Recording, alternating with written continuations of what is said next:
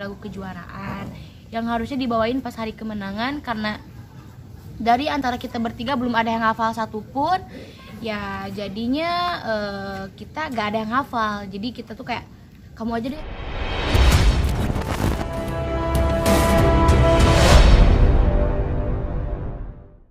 Yang pertama Meli ceritakan dulu single itu menceritakan tentang apa. Jadi menceritakan tentang seorang lelaki dan perempuan itu pacaran. Mhm. mereka berdua tuh berusaha kayak punya rencana buat memilih untuk berbisnis bareng.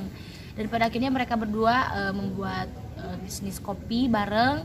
Tetapi di tengah-tengah perjalanan bisnis mereka mereka sering sering pro kontra gitu. Sering kayak ada masalah.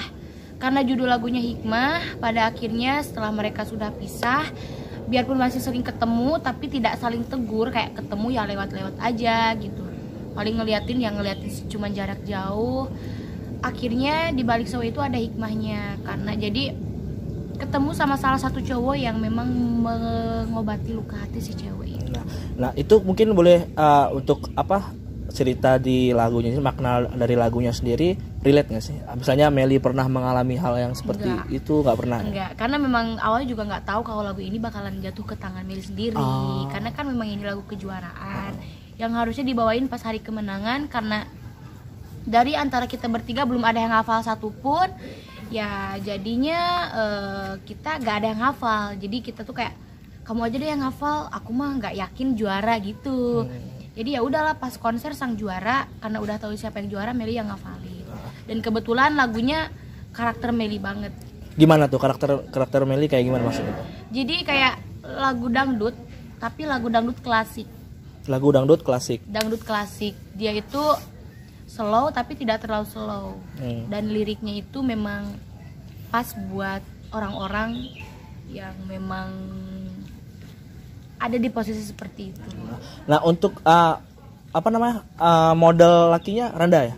Iya. Randa. Itu boleh diceritain itu pertama kali ketemu Randa atau pertama kali maksudnya itu uh, terlibat satu project bareng dia apa Mungkin gimana?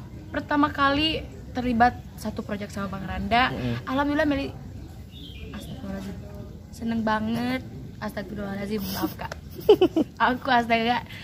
Alhamdulillah seneng banget karena itu pertama kali banget Meli bisa dilibatkan sama salah satu idola Meli sendiri. Ah, Eh, karena Meli memang suka sama Karanda dari dulu dari mulai tipe suaranya.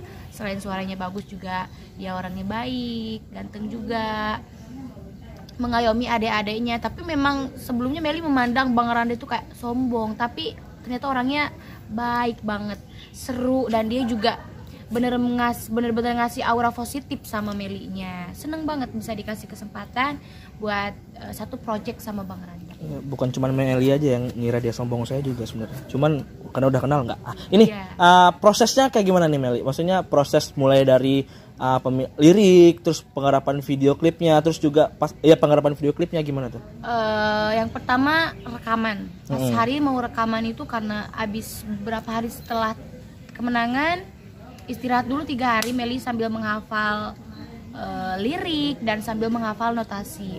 Biarpun pas hari rekamannya Meli masih memang notasinya masih ada yang salah karena memang Meli belum hafal banget gitu lagu ini tuh kayak gimana dan Meli belum tahu banget lagu ini itu seperti apa.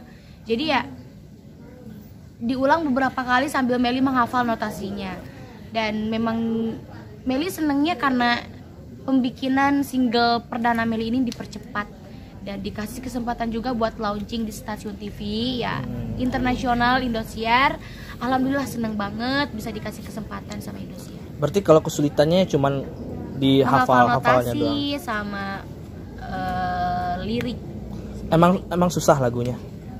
menurut Meli susah karena kalau buat single perdana itu karena untuk seumur hidup jadi Mm-mm. untuk orang-orang dengar juga Single jadi perdana. harus bener-bener pas dan harus bener-bener nyata gitu jangan sampai orang-orang itu menirukan lagu yang memang notasinya Meli bawakan salah Ah iya iya. Nah ini Meli apa namanya? Ah, lagunya kan udah udah rilis ya?